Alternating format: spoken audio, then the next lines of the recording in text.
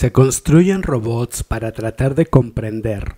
Al principio son modelos horriblemente simplificados, ahora más complejos y que sin duda serán cada vez más complejos.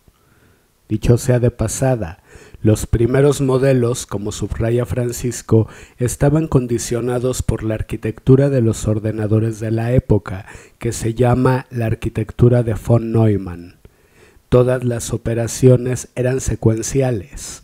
Antes de responder a la cuestión B había que responder a la cuestión A y antes de la cuestión A había que responder a la cuestión W mientras que ahora, gracias a la arquitectura vectorial, se contempla la posibilidad, por lo demás realizada en parte, de lo que se llama un tratamiento en paralelo, donde centros relativamente independientes, sin ser totalmente independientes, si no, eso ya no sería un ordenador, pueden realizar ciertas tareas mientras otros realizan otras tareas, etc y la máquina está hecha para que los resultados converjan en la realización de una tarea.